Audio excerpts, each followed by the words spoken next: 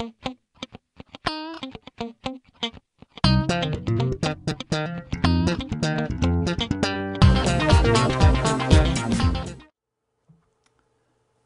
cool thing, and I told you this before, is this is all through interneurons.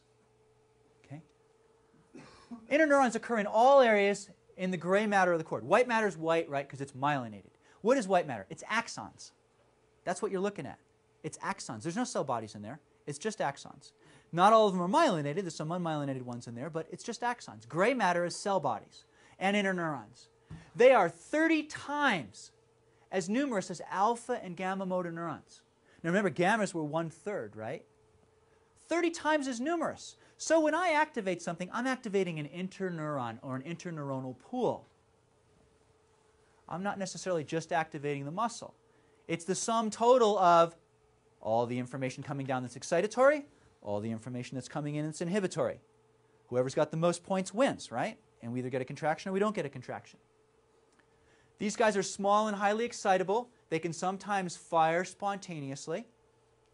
They can fire at 1,500 times per second, okay, where we think of a typical motor neuron is about 150 milliseconds, okay, which comes down to about, what, 150 times per second. Okay.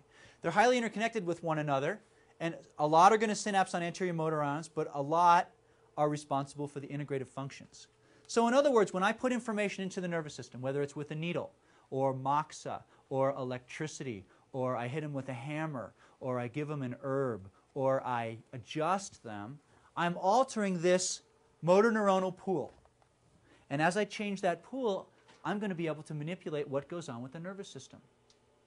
Okay, cortical efferents, brain stuff, right? Corticospinal, rubrospinal, that kind of stuff, mostly end on interneurons in the anterior horn of the cord. Only a couple actually will end on the alpha motor neuron itself. Most of them are going to end on other neurons, a lot of them inhibitory, which are going to help control and attenuate that function. So, take home message. I try to put these in so that all of this makes some sense. If you only know one page of this lecture, this is the one you need to know.